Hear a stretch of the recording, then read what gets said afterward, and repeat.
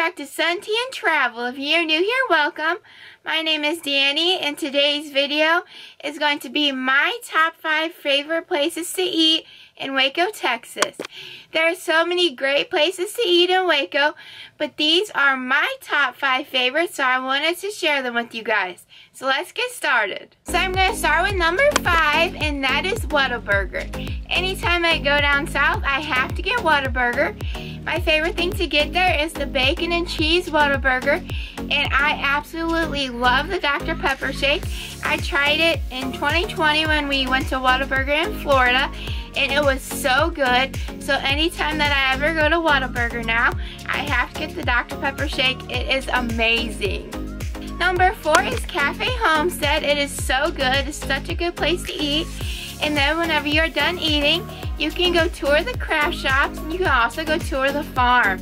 It is so much fun. Number three is Bubba's 33. It was so good. They actually have the same owner as Texas Roadhouse so I knew it was going to be good, but it was amazing. My mom and I got the Southern Fried Chicken, and it was so good, and I cannot wait to go back. Number two is Texas Roadhouse, my favorite restaurant. We actually went pretty late on a Saturday night, and I was surprised they got us in pretty quickly, even though it was really busy. And I always get the steak and the mashed potatoes there, and it is so good. And number one, my favorite place to eat in Waco, Magnolia Table. It was amazing. The food was so good. We only got to eat there a couple of times and I wish we could have ate there more. My favorite was the strawberry butter and biscuits. I cannot wait to have them again. They were amazing. And also for breakfast, I got the egg sandwich with cheese and it was so good. And the one time that we went for lunch, I got the Aunt Mikey's turkey sandwich. It was so good.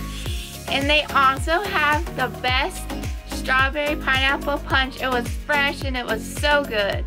Magnolia Table, in my opinion, is definitely the number one restaurant in Waco. So that is all for this video. I hope you guys enjoyed it. If you did, please give it a thumbs up. Don't forget to subscribe to my channel so you never miss any of my videos.